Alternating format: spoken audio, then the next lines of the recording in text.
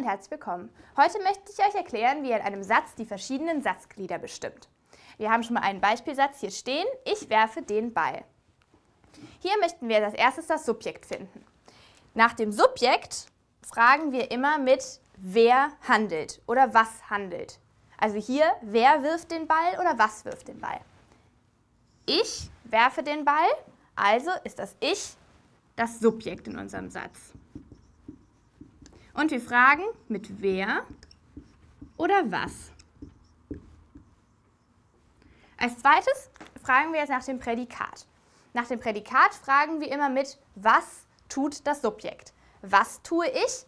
Ich werfe den Ball. Werfe ist also hier unser Prädikat. Und wir fragen mit was tut das Subjekt.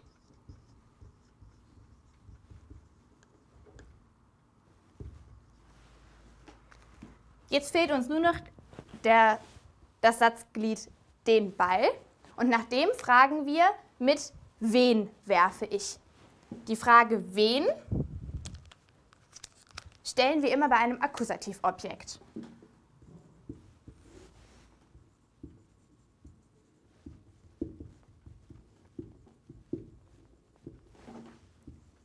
Wir fragen also mit wen.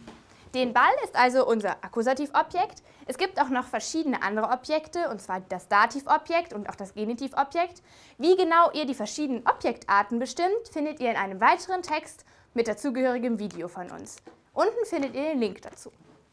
Das hier ist also die einfache Art, die Satzglieder eines Satzes zu bestimmen. Du findest weitere Beispiele in unserem Text. Ich wünsche dir viel Spaß.